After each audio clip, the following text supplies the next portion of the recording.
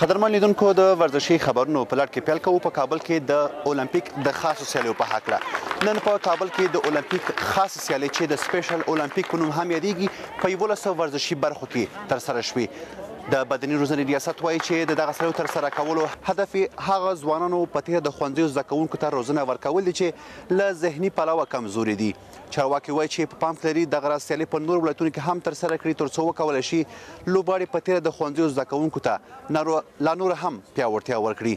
د افغانستان د بدني روزنې ریاست وايي چې دغه سیالي له کال دوه زره درېیم راهیسې په افغانستان کې پیل شوي دي او تمه ده چې په دوه زره پنځلس کال کې د المپیک له نړیوالو کمېټې سره دوی ثبت او راجستر شي. ورزش د صحت د پاره دغه هلکان نور هم ښه کیږي تندرست کیږي ورسره او بالاخره دغه هلکان مونږه د ملي ټیم د پاره او ملي ټیم جوړو تینا دغه هلکان کولای شي دغه زمونږه نوې ځوانان تنکی ځوانان چې بیا هم د لار شي خارجي ملکونه ته سفرونه وکي او هغه ته د مسابقات ورکي په ورته وخت کې لوبغاړي هم دغه سریو له تر سره کولو زیات خوشاله دي او وایي چې باید ورته ښې ورزشي زمینې برابرې شي ترڅو وکولای شي ورزش ته له دې نور هم پرمختګ ورکړي. غواړو چې موږ ته ورزش زمینه برابره شي هر میدانونه جوړ شي چې موږ خپل ورزش ته پرمختګ ورکړو.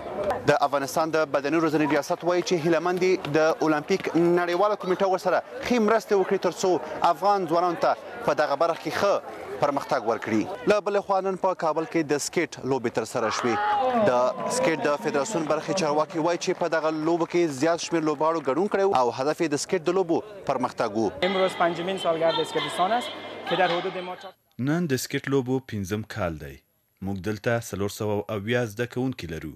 چې دري څلوېښت سلنه یې نجونې دي. ډېره خوشحاله یم که زه یو اسکیز سره یم. دغه اسکیز د افغانستان کې د جلیکانه ډېر لوی خدمت ده. چارواکي وايي چې اوس مهال د سکیټ لوبه د افغانستان په مرکزي ولایتونو کې ترسره کېږي او هیله مند دي چې وکولای شي دغه لوبې ته پرمختګ ورکړي.